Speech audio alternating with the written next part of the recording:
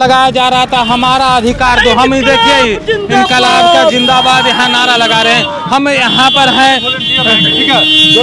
आप कह रहे हमारा अधिकार है। आप अधिकार कहाँ है? ये तो पैसा आपका है अधिकार है पैसा। ये आपका पैसा यहाँ पर फंसा हुआ है। विरोध करने का मेरा अधिकार हाँ, है विरोध करने और पैसा जो जो तहत पैसा लिया गया है।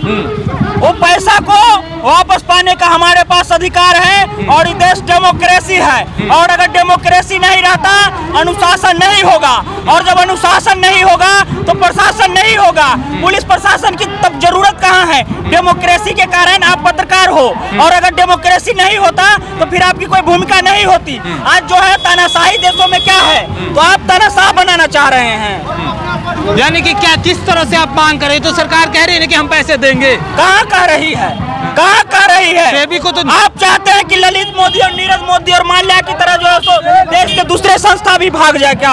हम उसको बचाने की लड़ाई लड़ रहे हैं। और हैं जो सहारा में जमा पैसा किए हैं हम उनको पैसा वापसी की मांग करते हैं और वो तब तक मांग जारी रहेगा जब तक सरकार नहीं सुनेगी और इस पर हम सरकार को सुना करके रहेंगे। हम ये बात कहना चाहते हैं। सरकार को सुना। देवानंद जी हैं लगातार एक साल से लगातार पटोरी क्षेत्र में और अभी पंद्रह दिन से लगातार आप गाँव गाँव में जा रहे हैं। क्या लग रहा है? कितने लोगों से आपने बात किया आप अगर गाँव में जाते जी।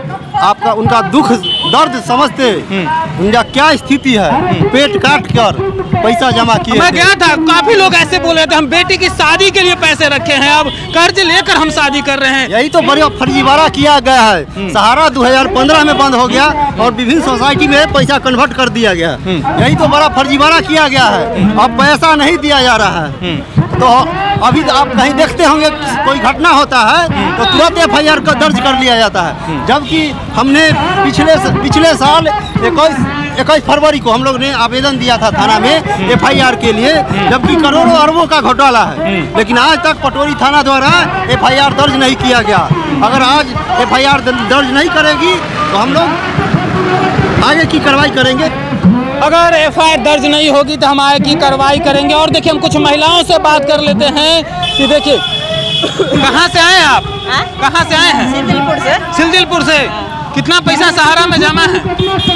एक आध लाख के लगभग। एक लाख रुपया जमा है। देखिए इस महिला सिलदिलपुर से आई है। एक लाख का कितना पैसा जमा है? हमको बाईस हज़ार। बाईस हज़ार। अपने के डेढ़ लाख। डेढ़ लाख? सिंह से डेढ़ कहाँ से लिए डेढ़ हाँ? लाख, शिवराम सिंह खान से। शिवरा अमर सिंह स्थान से आए हैं। आपका भी भैया जमा है? हाँ। कितना? आठ हज़ार। आठ हज़ार। कब जमा किए थे? हो गया आज से पाँच छः साल पहले। पाँच छह साल हो गए। चलिए आप तो कम जमा है कम पैसा है। और यहाँ महिला कितना चाची जमा है अपने के? बहत्तर हज़ार। दू बेटा भी। बहत्तर हज़ार।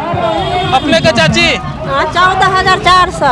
चौदह हज़ार यानी कि देखिए जो भी महिलाएँ हैं हम लगातार आपको ये खबर दिखा रहे हैं। कोई भी महिला अपने पेट काट काट कर बेटी के लिए पढ़ा बच्चों के पढ़ाई के लिए पैसा जमा किए थे लेकिन अभी नहीं है। अब देखिए अपना पैसा मांगने के लिए महिलाओं को या जो भी हैं उनको सड़क पर उतरना पड़ रहा है। आप देख रहे हैं वंदे बिहार अगर फेसबुक यूट्यूब पर देखा तो हमारे पेज को फॉलो और सब्सक्राइब करें। धन्यवाद।